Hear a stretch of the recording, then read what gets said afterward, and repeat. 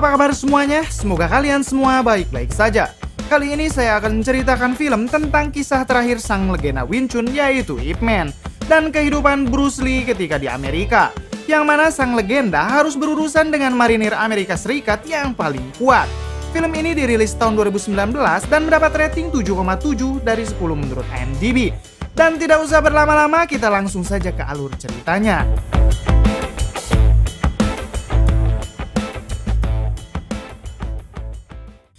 Film diawali dengan Ip Man yang sedang diberitahu oleh dokter kalau Ip Man menderita kanker kepala dan leher. Dokter menyarankan Ip Man untuk segera kemoterapi dan menyuruhnya berhenti merokok sekarang juga agar sel kankernya dapat dikendalikan. Kemudian keesokan harinya, terlihat seorang pria bernama Billy mendatangi tempat latihan Wing Chun milik Ip Man. Billy sendiri adalah salah satu murid dari Bruce Lee. Di sana terlihat para murid Ip Man yang kebingungan karena tidak bisa bahasa Inggris. Mereka pun malah mengusir Billy. Karena Billy tidak mau keluar, salah satu murid Ip Man mengajaknya bertarung. Alhasil baku hantam pun terjadi.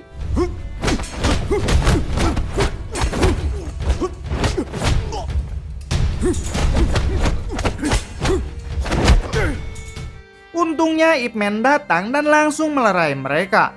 Billy dengan raut wajah gembira langsung memeluk guru Ip Man. Billy sendiri di sini ternyata diutus Bruce Lee untuk memberikan undangan menonton pertandingan karate di Amerika bulan depan. Serta Billy memberikan karangan buku kungfu hasil karya Bruce Lee kepada gurunya itu. Yang kita tahu Bruce Lee sendiri adalah salah satu murid dari Ip Man. Guru Ip di sini nampak senang karena Bruce Lee sekarang sudah sukses. Namun sayangnya Guru Ip menolak undangan tersebut dengan alasan ia tidak punya waktu. Tiket itu pun dikembalikan ke Billy. Namun di sini, Billy menitipkan tiket itu kembali kepada salah satu muridnya Ip Man. Di balik itu, anak guru Ip yang bernama Ip Jin memukuli temannya karena temannya mengambil komik miliknya. Hingga ayahnya pun dipanggil oleh pihak sekolah dan diberitahu kalau anaknya tidak bisa lagi sekolah di sini. Guru Ip di sini membujuk kepala sekolah untuk memberikan kesempatan lagi kepada anaknya namun kepala sekolah menolak hal itu karena Ibjin melakukan kekerasan di sekolah bukan hanya sekali saja. Lalu kepala sekolah menyarankan anaknya untuk bersekolah di luar negeri saja. Ipman pun di sana hanya bisa menerima kenyataan anaknya harus dikeluarkan. Pada malam harinya, guru Ip yang setuju kalau anaknya akan disekolahkan di Amerika, ia pun mengemas baju-bajunya. Lalu tiba-tiba ada yang mengetuk pintu. Ternyata orang itu adalah Bob yaitu orang yang diminta Guru Ip untuk menjaga Jin ketika Guru Ip pergi ke Amerika. Tentu untuk mengurus surat perizinan anaknya ketika bersekolah di Amerika nanti sembari akan menonton karate atas undangan Bruce Lee. Jin yang pada saat itu sedang duduk sambil membaca buku, ia mendengar percakapan ayahnya dan Bob. Ia pun langsung tak terima kalau dirinya akan disekolahkan di Amerika. Hingga perdebatan ayah dan anak pun terjadi. 我根本就唔中意读书啊！你从来就冇支持过我。如果阿妈仲喺度，佢一定会。 Bob pun di sini langsung menenangkan perdebatan mereka dengan menyuruh Jin segera keluar. Keesokan harinya, Guru Ip terbang ke Amerika. Sesampainya di bandara, Guru Ip dijemput oleh seseorang bernama Gun, yaitu salah satu murid yang tinggal di sana. Kemudian mereka pergi menuju ke tempat Asosiasi Kebijakan Cina atau AKC AKC sendiri adalah lembaga yang mengurus surat perizinan orang Cina yang tinggal di Amerika. Setibanya di AKC, Guru Ip disambut oleh beberapa guru kungfu yang lain, serta seseorang bernama Wan selaku ketua dari AKC itu sendiri. Di sana, Guru Ip berterima kasih kepada Guru Wan karena akan membantu mengurus izin anaknya bersekolah. Namun Guru Wan di sini mengatakan jangan bilang berterima kasih dulu. Lalu ia memberitahu kepada guru Ip perihal kelakuan muridnya yaitu Bruce Lee yang semena-mena mengajari kungfu kepada orang asing dengan membuat buku kungfu berbahasa asing, serta Bruce Lee juga ikut berpartisipasi di turnamen karate. Guru Wan di sini khawatir kalau orang asing yang belajar kungfu nantinya akan melawan balik orang-orang Cina dan merebut budayanya. Namun di sini guru Ip yang mendengar hal itu hanya tersenyum dan mengatakan yang dilakukan Bruce Lee itu sudah baik yaitu mengajak orang asing belajar budaya bela diri dari Cina. Mereka yang berbeda pendapat pun akhirnya terjadi perkelahian.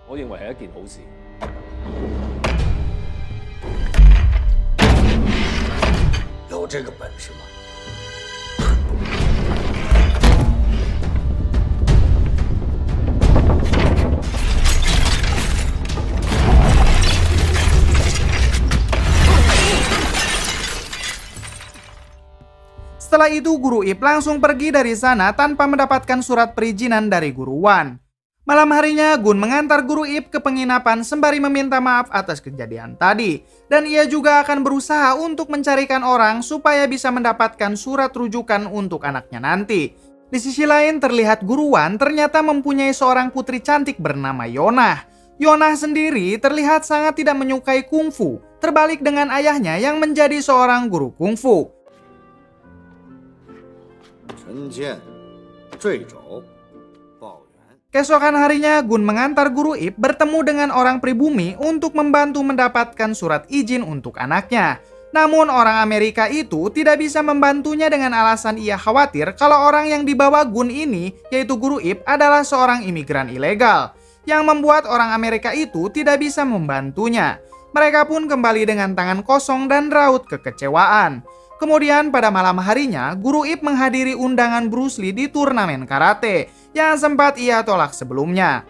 Di sana Bruce Lee memperlihatkan tendangan khasnya.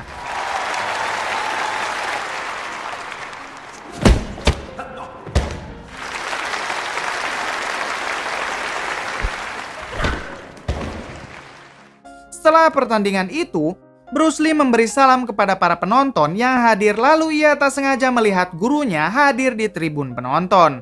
Bruce Lee pun terkejut dan langsung memberikan salam hormat.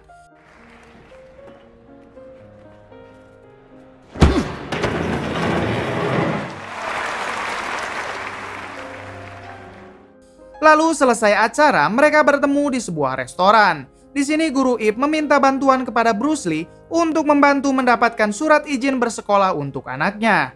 Bruce Lee selaku muridnya tentu dengan senang hati akan membantu.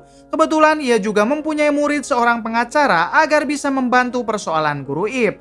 Tak berselang lama, para murid dari Bruce Lee menghampiri mereka berdua. Di sana Bruce Lee memperkenalkan satu persatu muridnya kepada Guru Ip, termasuk murid andalannya yaitu Hartman, yaitu seorang staf sersan marinir Amerika.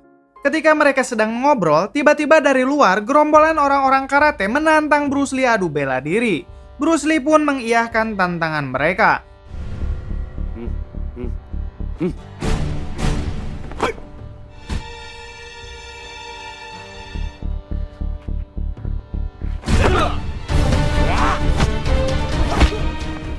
Dengan mudah, Bruce Lee menumbangkan ketiga orang tersebut. Setelah itu, guru dari mereka menantang Bruce Lee. Perkelahian sengit pun di sini terjadi.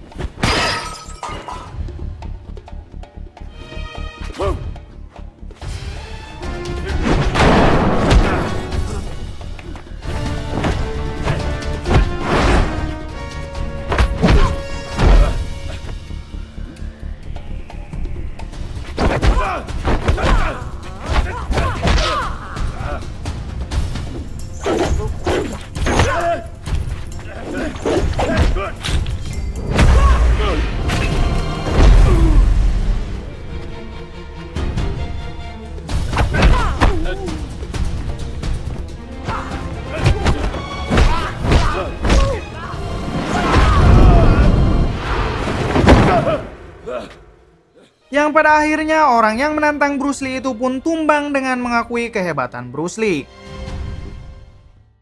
Keesokan harinya, Guru Ip yang sudah mendapatkan surat izin mengunjungi sekolah yang akan ditempati anaknya nanti.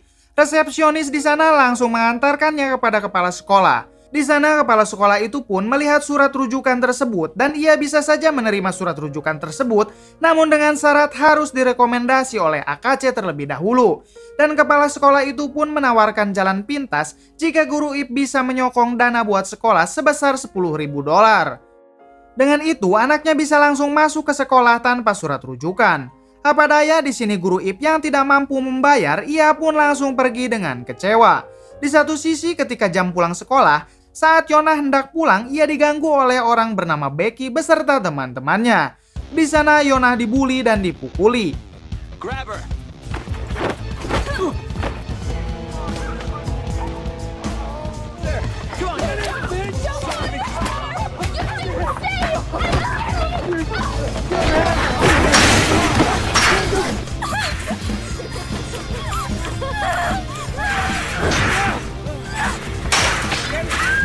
Untungnya guru Ip yang melihat dari kejauhan langsung menolong Yona dan memberi pelajaran kepada anak-anak itu.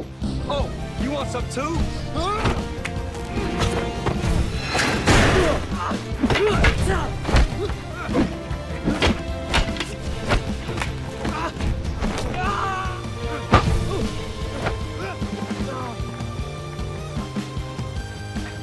Lalu kemudian guru Ip pun mengantarkan pulang Yona naik bis. Di sana Yona menanyakan kenapa guru Ip ada di sekolah. Guru Ip pun mengatakan kalau ia sedang mengurus perizinan anaknya supaya bisa bersekolah di Amerika. Yonah pun langsung menyarankan untuk menemui ayahnya. Guru Ip mengatakan kalau ia sudah bertemu dengan ayahnya tapi tidak diberikan izin.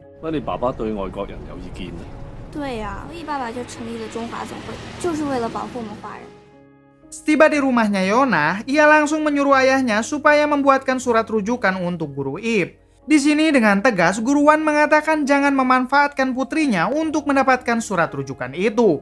Tunjukkan sajalah jati dirimu dengan bertarung denganku, ucap guruan. Guru Ip pun tidak keberatan dengan tantangan itu.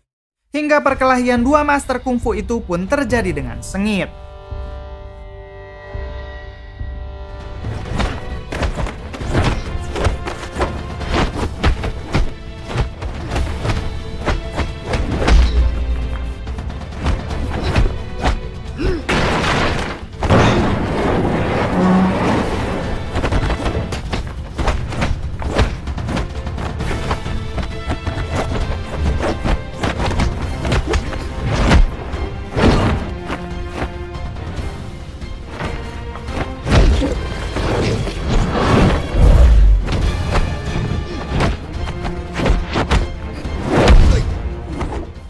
Ketika sedang bertarung, tiba-tiba ada gempa yang membuat mereka menghentikan pertandingannya. “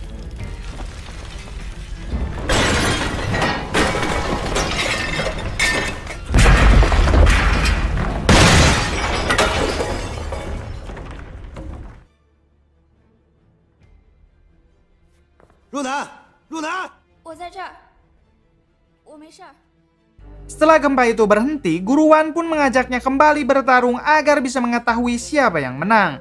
Dengan bijaknya Guru Ip menjawab, menang atau kalah itu tidak masalah buatnya.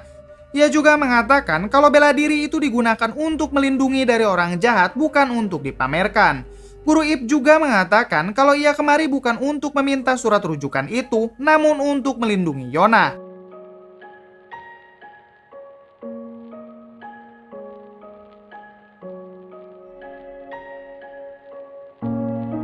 Sedangkan Becky yang pulang ke rumahnya ia menangis dan mengadu ke ibunya. Lalu ibunya menelepon ayahnya bernama Walter, ia mengaku menjadi korban kekerasan orang-orang Cina.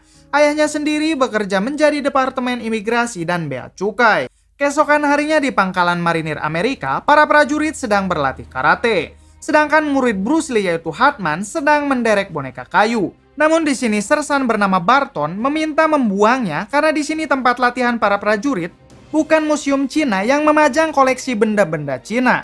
Lalu ia juga mengatakan jika boneka kayu itu ingin ditempatkan di latihan ini, ia harus mengalahkan Colin terlebih dahulu. Colin sendiri adalah guru karate di sana. Hartman pun menyetujui tantangan tersebut.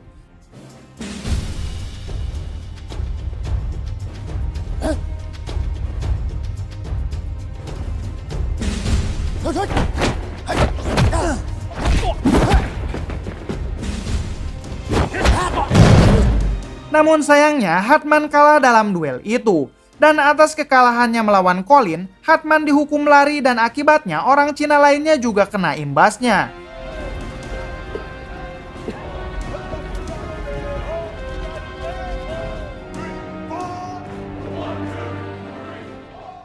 Di tempat lain, Yonah mendatangi Guru Ip dan memberikan surat rujukan itu. Namun di sini, Guru Ip merobek surat itu karena ia mengetahui kalau Yona sudah memalsukan tanda tangan surat rujukan tersebut. Yona pun curhat kepada Guru Ip kalau ia tidak suka dengan ayahnya yang selalu memaksanya untuk belajar kungfu. Yang ia sukai adalah cheerleader. Guru Ip yang mendengar hal itu pun menyarankan Yona agar ikut di karnaval pertengahan musim semi yang akan diadakan beberapa hari lagi. Di sini Yona pun sangat antusias mendengar itu lalu pamit pergi untuk bersekolah. Bye-bye. Bye-bye. Di balik itu, Hartman sedang memperkenalkan kungfu kepada komandannya. Di sini komandannya sangat tertarik dengan kungfu yang diperlihatkan oleh Hartman. Si komandan juga meminta Barton untuk mempelajari teknik-teknik kungfu agar nantinya bisa digabungkan dengan karate. Hartman sendiri diperintah oleh komandan pergi ke festival untuk mendokumentasikan para master kungfu di festival sana. Barton yang tidak suka menyuruh Colin untuk pergi juga ke festival agar membuktikan kalau karate lebih baik daripada kungfu. Barton sendiri dari dulu sangat membenci orang Cina termasuk budayanya. Pada malam harinya, Guru Wan ternyata akan menyetujui surat rujukan untuk anak Guru Ip. Namun tiba-tiba dari luar ayah Becky yang menyimpan dendam ke orang Cina, ayah Becky dan anak buahnya menangkap Guru Wan dengan tuduhan sudah mengizinkan imigran ilegal Cina tinggal di Amerika. Sedangkan di tempat festival digelar, di sana Guru Ip terlihat menghadiri acara tersebut. Di sana juga ia bertemu dengan Hatman dan Yonah. Ketika para master kungfu sedang memperlihatkan teknik kungfunya, Tiba-tiba Colin beserta muridnya mengacaukan acara tersebut dengan menantang para master kungfu itu untuk bertarung. Fight me with your hokey pokey kung fu. Come on.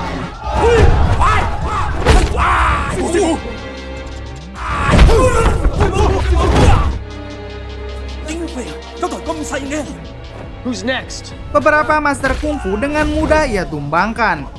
Tiba ketika Colin melawan master kungfu wanita. Lady, I'll show you no mercy.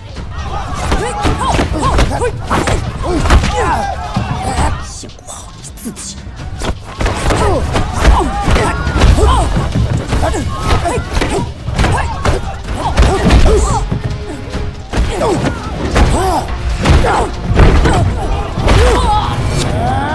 Untungnya pada saat itu Guru Ip menyelamatkan master kungfu wanita itu dan perkelahian Guru Ip melawan Colin pun terjadi.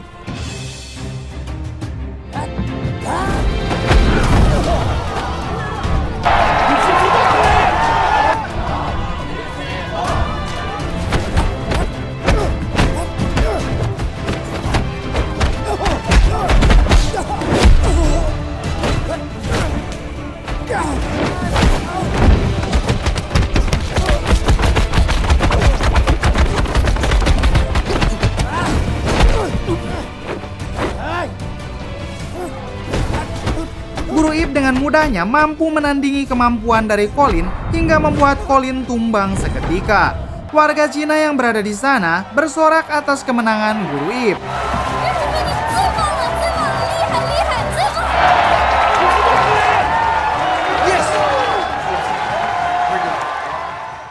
'Setelah itu, Yonah diberitahu oleh pamannya kalau sang ayah dibawa oleh Departemen Imigrasi.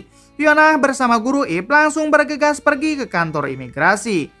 Di tempat lain, Barton menjenguk Colin untuk melihat keadaannya.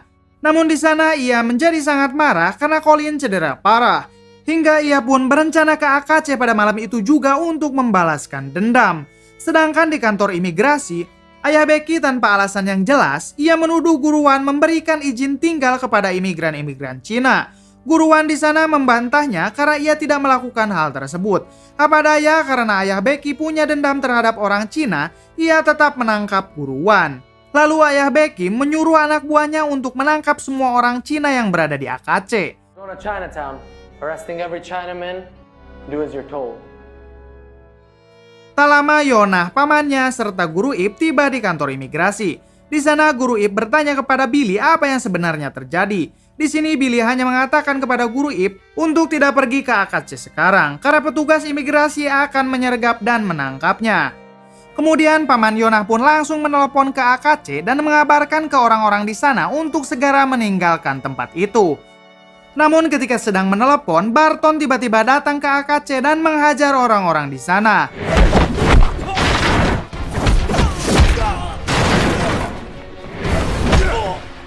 Hal itu terdengar oleh Guru Ip melalui telepon dan ia pun langsung bergegas pergi ke sana.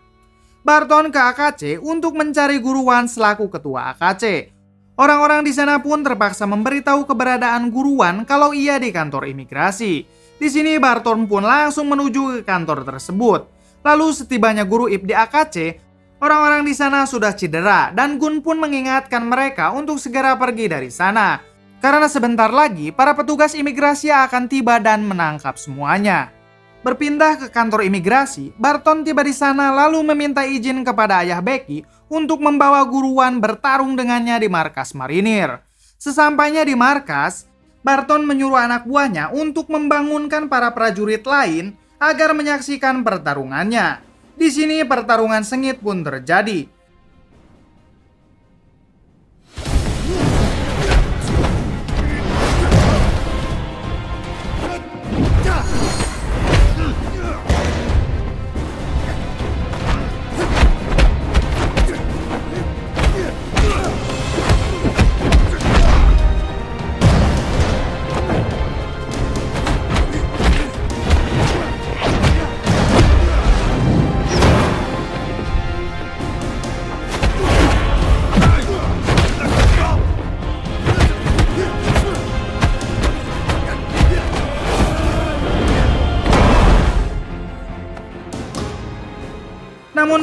Guruwan kalah dalam pertarungan itu.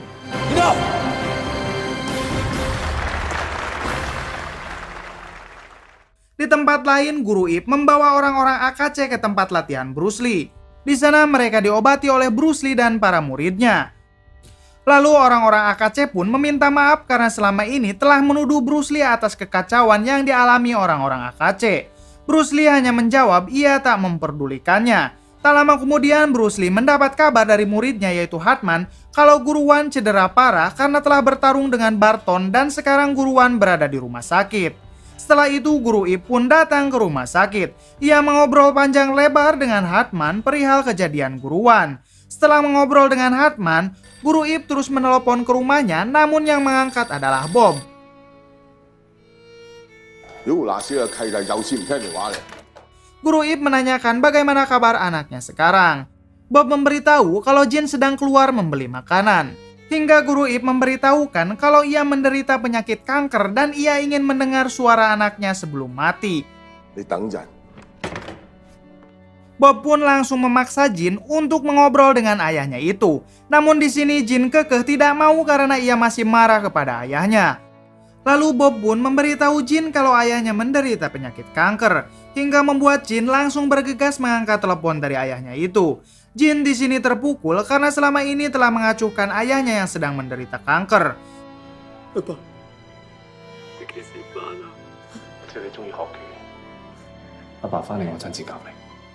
幾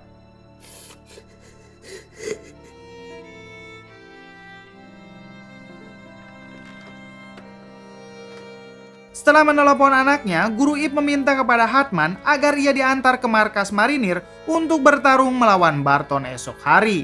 Keesokan harinya, Guru Ip bertemu dengan Barton di markas marinir. Mereka di sana pun langsung bertarung.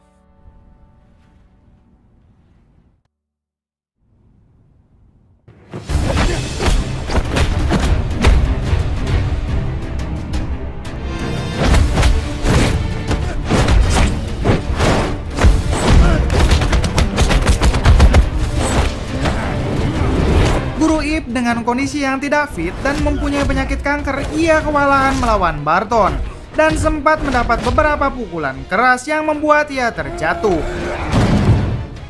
Namun Guru Ip bangkit lagi untuk melawan Barton. Di sini Guru Ip mampu menandingi Barton dengan jurus pincunnya.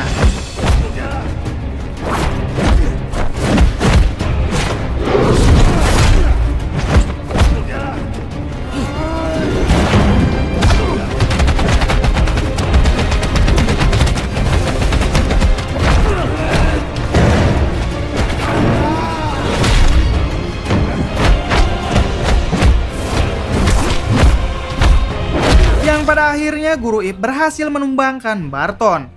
Guru Ip pun langsung diapresiasi prajurit di sana dengan standing applause.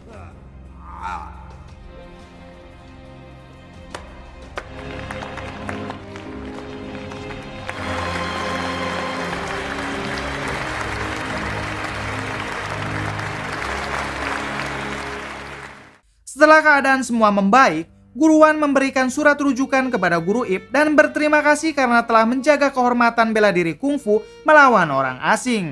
Setelah itu Guru Ip kembali ke Cina dan pulang ke rumahnya. Ia pun langsung disambut oleh anaknya. Di sana si anak meminta ayahnya untuk mengajari Win Chun.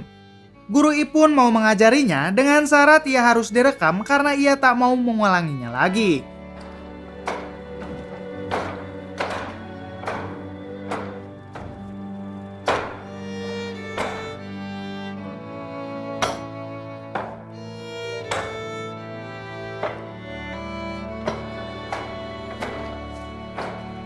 Dan di akhir film terlihat Bruce Lee yang menghadiri pemakaman gurunya yaitu guru Ip yang sudah meninggal karena penyakit kankernya. Bruce Lee pun memberikan penghormatan terakhirnya kepada gurunya itu. Kemudian tamat. Bagaimana menurut kalian? Filmnya cukup seru lah ya. Apalagi di sini diperlihatkan juga mendiang Bruce Lee. Kisah yang dapat kita ambil dari film ini, jangan sia-siakan orang tua kita yang masih hidup, karena sejatinya mereka ingin anaknya menjadi baik. Cukup sekian dari saya, mohon maaf bila banyak kesalahan. Salam Bright Movie. Everything gonna be harder.